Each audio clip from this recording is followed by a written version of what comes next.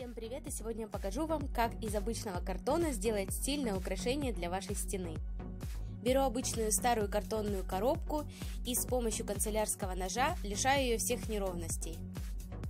Позже из нее мне нужно будет вырезать 6 продолговатых кусочков картона.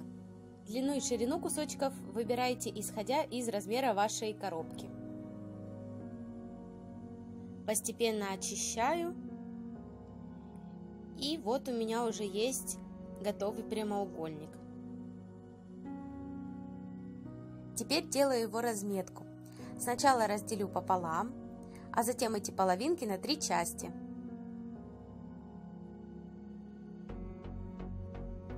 Вот такая разметка у меня получилась. Разрезаю картон с помощью канцелярского ножа. Чем ровнее вы будете вести нож, тем ровнее будут ваши импровизированные дощечки в конечном результате.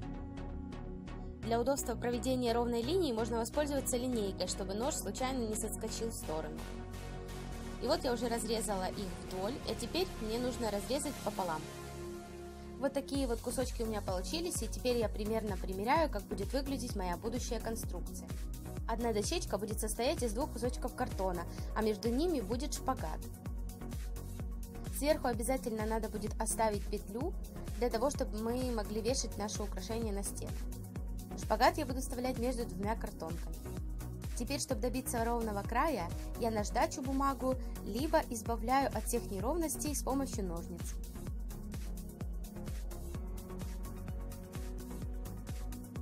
Нужен вот такой вот ровный краешек.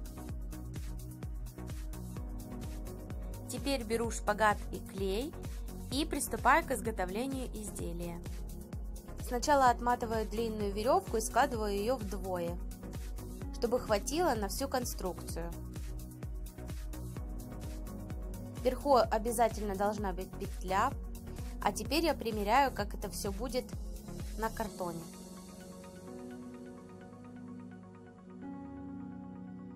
Кладу сверху вторую картонку и оцениваю результат.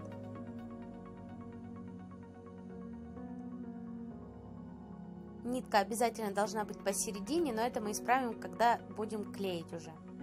Теперь нижнюю часть хорошенько, тщательно промазываю клеем. Черными линиями я уже наметила, где будет находиться веревка. Также я сделала с остальными картонками, чтобы веревка ложилась ровно. После того, как я закончила работать с клеем, прикладываю шпагат. Вот так вот по линиям и накрываю второй картонкой. Плотно прижимаю, желательно подставить под пресс. Вот такой вот паровозик у меня получился. Приступаю к его покраске. Я буду использовать фиолетовый акрил, а вы можете взять любую краску по вашему вкусу. Плотно покрываю первым слоем и после его просыхания наношу второй. Также стараюсь прокрашивать и боковые стороны, чтобы они сильно не выделялись. Если вас не устраивает такой край, то можно обклеить его бумагой либо тканью. Но в таком случае вам придется потрудиться, чтобы выровнять все поверхности и чтобы краска сверху ложилась ровно. Кстати, фиолетовый один из моих самых любимых цветов. А какой цвет любимый у вас? Напишите в комментариях, мне очень интересно.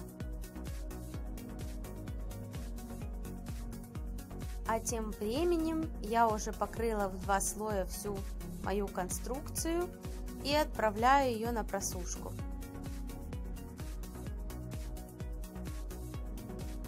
А теперь заметьте, как после высыхания акрил теряет цвет.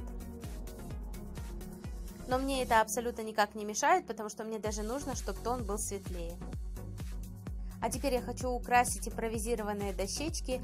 Беру веерную кисть, коричневый или черный акрил и делаю вот такие потертости.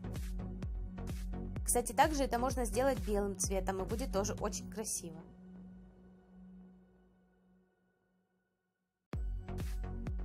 После того, как все три картонки прокрашены, я приступаю к надписи.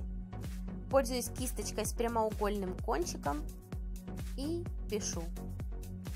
Кстати, надпись я делаю акварелью и также ее наношу в два слоя. Надпись выбирайте на ваше усмотрение. На ней можно написать имена членов семьи или какие-то слова, а можно что-то нарисовать. Я рисую сразу кисточкой, но для удобства вы лучше используете карандашный набросок. Так буквы, надписи или рисунок выйдут ровнее и четче. Но если вы уж совсем не хотите писать и рисовать, то надпись и картинку можно распечатать и вырезать.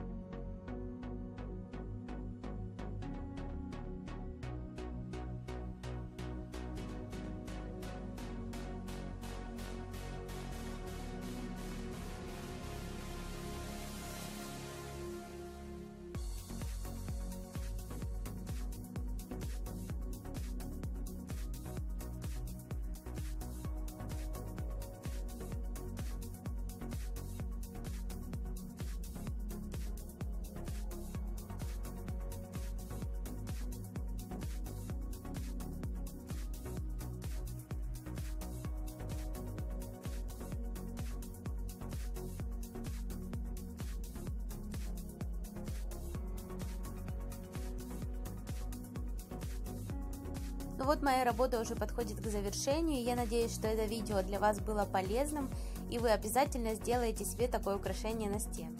Только посмотрите, как оно круто смотрится.